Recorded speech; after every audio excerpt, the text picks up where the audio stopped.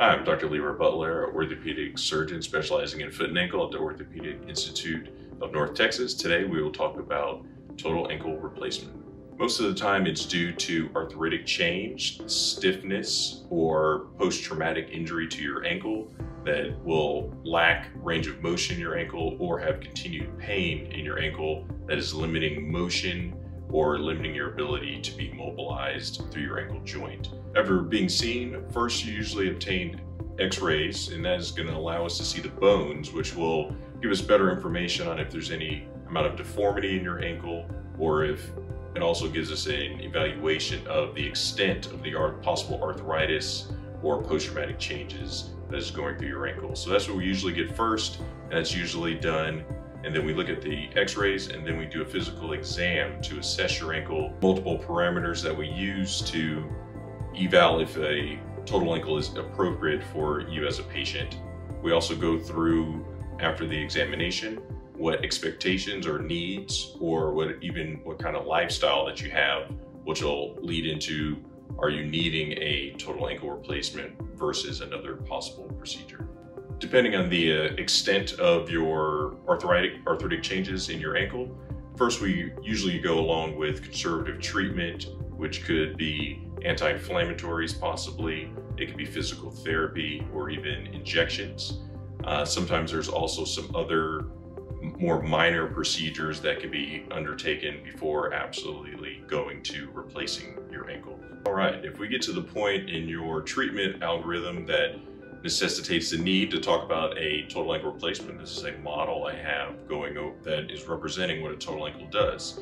Uh, the difference between a total ankle replacement and usually what could be also discussed, which is an ankle fusion, is that an ankle replacement will allow you to maintain motion through your ankle. Not everybody is a candidate for an ankle replacement, but usually what we do in an ankle replacement are we remove the areas of deformity or cartilage, which are essentially removed from your ankle, and we place replace that with metal and a piece of plastic that will allow you to still have motion through your ankle. Usually that is a day procedure. It takes a couple of hours, if anything, to do a total ankle. Um, you can actually do this outpatient sometimes, but I would say most patients usually stay overnight uh, just for monitoring. Um, and that usually depends on maybe possible other health issues you may have that need to be watched overnight. Usually recovery is you have the procedure. Like I said, you're, you're home within the next day or the same day.